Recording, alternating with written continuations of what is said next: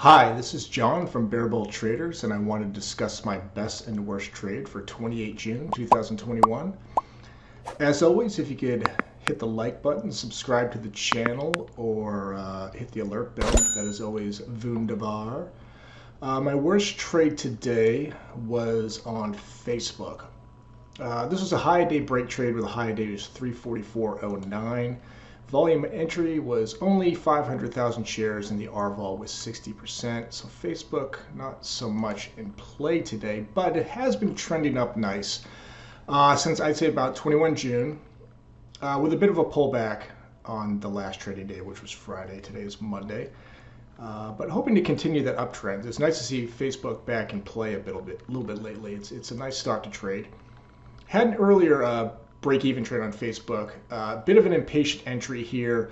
I took it as it broke over the pre-market high, which is this magenta dotted line. I was hoping to break right through R4 and Friday's high and, and keep going, and that was probably just too impatient, too optimistic. And I think I knew that right after I entered, and uh, I got out near break even on that one. So I had to take a deep breath and uh, rethink my life a bit there. Uh, so Facebook made a later made a better move to the high day. So here's a much better move than than than this. This is a single punch. This I mean this could have worked, but this is better. This is a nice trend up to the high day, obviously in line with the market here. Uh, but at the end, it actually made a nice exponential, like nice punch on a single candle, uh, right up through the high day, through R4, and through Friday's high. And that was not uh, with a punching SPY candle, it was with a fairly normal uptrending SPY candle. So that was a good sign. And we had nice buildup on the one minute volume as well. So a little step up here. And then obviously as it's breaking through 344, we're going to get a little bit more volume here. And so that's evident in that bar right there. Uh, and I did have, again, I did have the SPY moving nicely in my direction until entry. So uh, as soon as I entered, the SPY put in this wonky red candle with a bit of a pullback. And that definitely, probably, definitely, probably definitely probably had an effect on Facebook's price as it tried to break through these levels.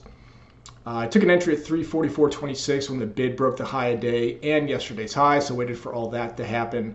Again, not one of these highs. I, I prefer this was at 344 exactly or at 343.90 something. So just above 344 makes this a little more dangerous as well.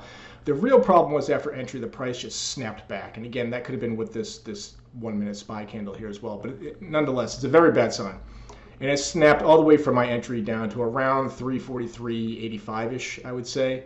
And uh, I let it go for another candle. It was getting back up above 344, but the bid would not break uh, my entry, and it would not break 344.20. And I could just feel uh, that this was all probably going to hell. So I got out at 343.76 for a half R loss. My full R loss would have been down here at 343.20, well, uh, specifically 26. Uh, so took the smaller loss on this one. I did get it back with Facebook later in the day, so my best trade was also on Facebook. So here's a high day break. Well, these are technically high day break trades, but really what I'm doing is I'm following a trend here, uh, a strong trend.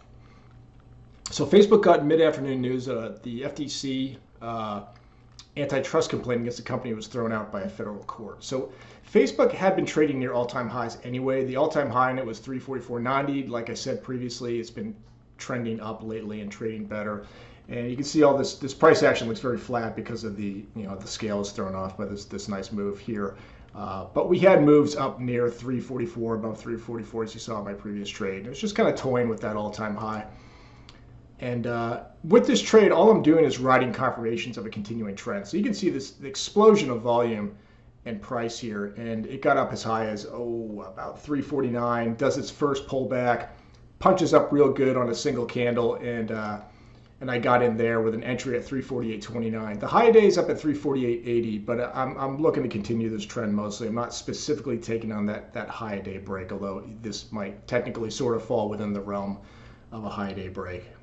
Uh, maybe a bit too low to call it that. Uh, took a 50% partial at 349.79. All I'm trying to do there is get near 350. I expect that to be a, a, difficult level to get through, so I got that. And as it came back down, I got all out at 348.57. As, as fast as this is going up, it could come down fast as well, and I don't want to get whipped out. And then it held. And I thought to myself, I really like this trend. I like this explosion above the all-time high. I, I think I want to get back in this.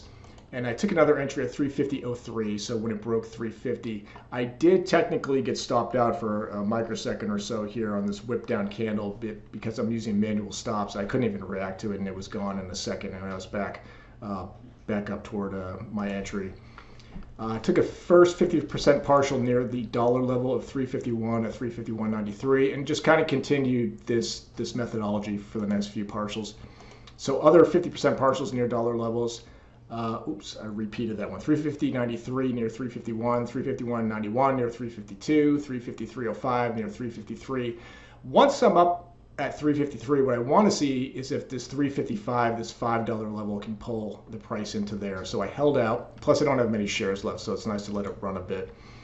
And uh, I got the next one near 355 at 354.84 and took the next one near 356. Not, it would have been nice to get a bit, a little bit closer, but got 355.81. And then uh, I was all out right at the close of 355.70. You can see I had a range order to either get out near break even or as high as 359.49, trying to get up near that next decade level. But uh, Facebook kind of ran out of juice. So that was the best and worst for today. Uh, I hope you enjoyed this video. Uh, please drop a comment below, and I'll talk to everyone next time. Bye bye.